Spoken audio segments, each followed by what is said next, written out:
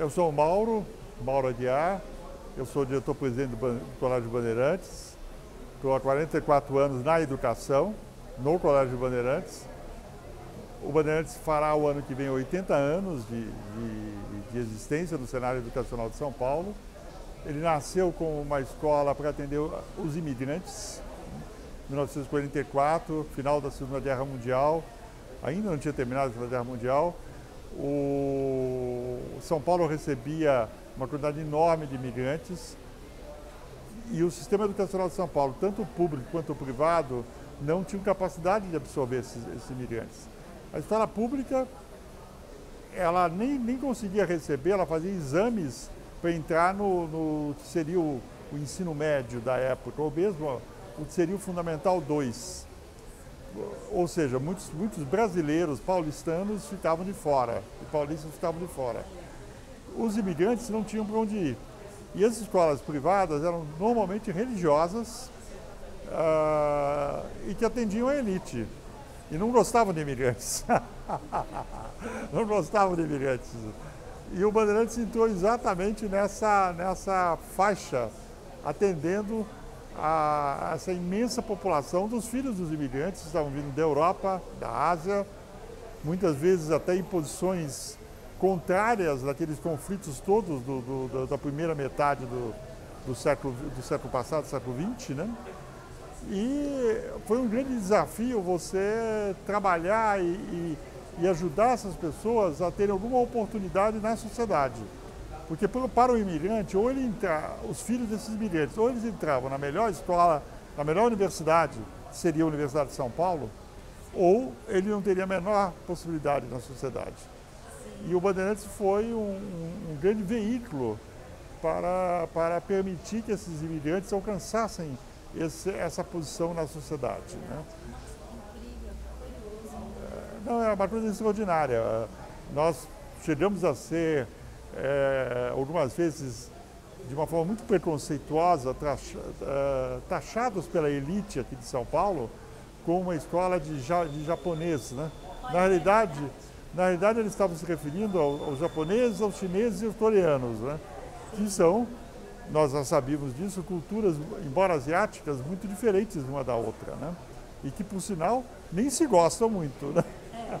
De ter uma história de guerras, de conflitos, etc. E uh, São Paulo tinha, na época, vamos assim, já na década de 60, década de 70, 1% da população da cidade de São Paulo eram asiáticos mas mais de 30% da população da USP nos cursos mais competitivos, como engenharia, medicina, direito, administração, eram asiáticos. Né? E a quase totalidade deles formados no Bandeirantes. Isso se somava também os judeus, os italianos, uh, os árabes. Né? Não, o colégio ainda mantém. É claro, São Paulo não vem mais, o Brasil não vem recebendo mais tantos imigrantes, ou muito poucos. Né? Uh, Inverteu-se até hoje em dia, você tem uma, uma visão contrária. Né? O, muita gente está indo embora do país, muita, o maior concorrente do Bandeirantes hoje em dia são as transferências para o exterior, são as famílias indo embora, o que é uma coisa muito, muito problemática, muito ruim e muito difícil para o país. Mas, o, você respondendo, eu, realmente continua, o colégio continua tendo uma característica de, de netos, de bisnetos de, de, de, imigrantes. Tem muito olhinho puxado, tem muitos, a comunidade japonesa e árabe estuda, continua estudando muito no Bandeirantes. Você vê pelos sobrenomes, né? Você olhando os sobrenomes, você vê. É difícil ver um sobrenome tipicamente brasileiro. É um, sobrenome você percebe essa origem, essa raiz. Temos hoje em dia 2.600 alunos, no ano que vem nós começamos o ensino fundamental 1, que é uma novidade, porque o Bandeirantes sempre foi um colégio para adolescentes. Adolescentes, né? Era a nossa especialidade. E há uns três anos, quatro anos atrás, nós decidimos que estava na hora de, de nós termos todo o ciclo, né? Isso é uma coisa interessante, porque no mundo inteiro as escolas são separadas. As escolas para criança e criança, a escola para adolescente e adolescente. No Brasil, a tradição é você ter integrado, antes era a exceção. E isso causava algumas dificuldades, uh, as dificuldades de transporte para as famílias, logística de família fica complicada. Uma, as pesquisas mostravam que, o, que as famílias estavam querendo muito mais ter um, ter um local, escolher a sua moradia e teria escolaridade numa mesma escola. Né? Então aí nós, nós decidimos um trabalho longo, porque nós não entendíamos nada de, de Fundamental 1, de crianças, de entendia de adolescente. Expert em adolescentes, mas não entendíamos de criança. Então juntamos uma, uma equipe aí de mais de 30 pessoas, recrutamos o que é de melhor em São Paulo. Então estamos a. A ideia foi quatro anos atrás, mas estamos há três anos trabalhando, montamos todo o material didático. Os professores que vão trabalhar com os alunos em fevereiro do ano que vem já estão contratados e foram autores desse material didático. Então existe um enorme senso de pertencimento aí. Eu acredito que será um, um vamos nascer muito bons. Aliás, nós nascemos como escola já numa posição de destaque. E acho que o fundamental irá manter essa tradição. Vamos nascer muito, muito, com muita qualidade, mas teve muito trabalho e muito investimento nisso. É, é muito gratificante. E é muito gratificante você formar uma, uma história mais. Sobre um aspecto é muito mais fácil você, você ter o, o, que os, o que os americanos chamam de greenfield, né? É uma, algo que não existiu nada, então nós vamos começar do nada. Fica mais fácil do que você mudar a inovação. Né? Estava assistindo uma palestra de inovação. A inovação, você tem sempre a tradição do que está sendo feito e que age como uma. Nada contra a tradição, a tradição traz, traz, traz aspectos muito positivos, mas também traz resistência à inovação. Né? Então, o, o, meu tio, que foi o fundador da escola, a escola é uma empresa familiar, ele falava que ele tinha um segredo que eles chamavam de segredo de polichinelo, né? Porque é tão óbvio, é tão óbvio que ninguém praticava, né? É a formação do professor. Né?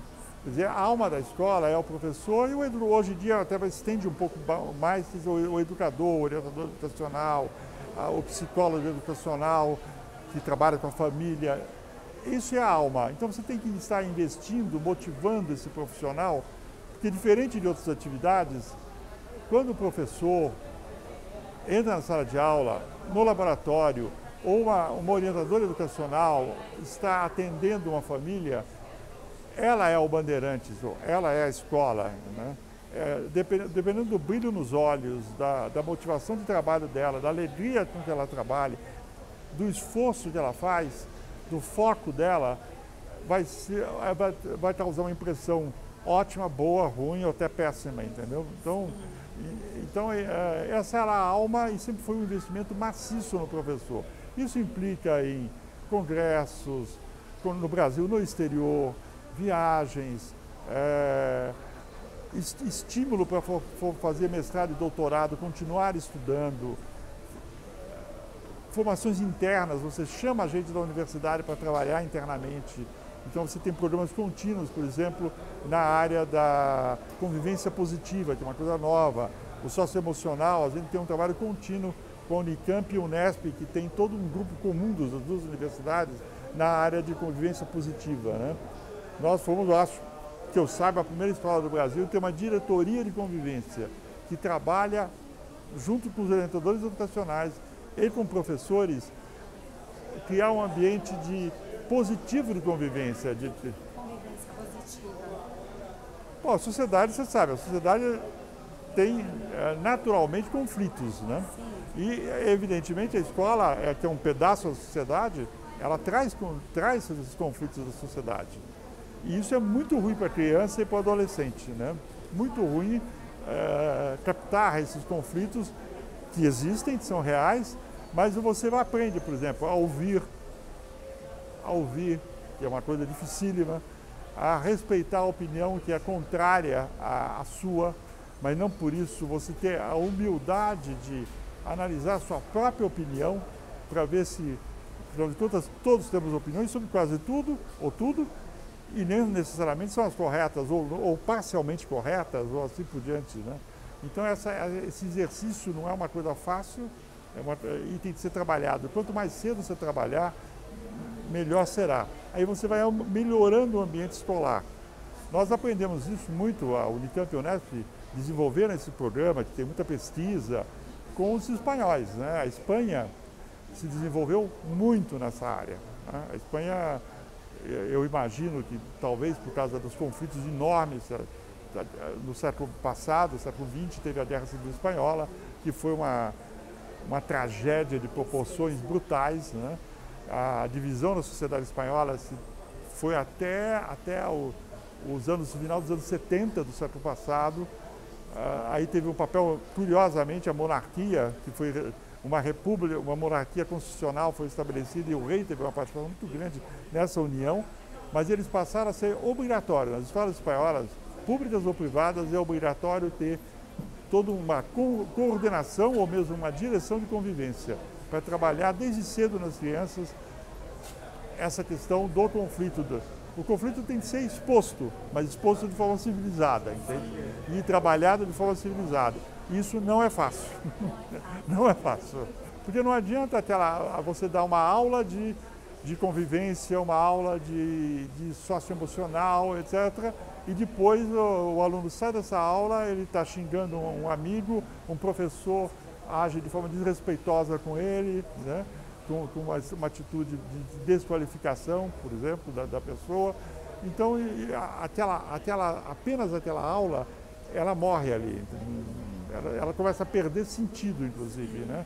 Agora, se você tra trabalha a aula, tem aula, mas aí você tem toda uma transmissão dessa cultura para dentro da instituição, ela passa a fazer sentido para o aluno. E o aluno não, não aprende nada se não faz sentido, né? sabe? ou aprende com dificuldade.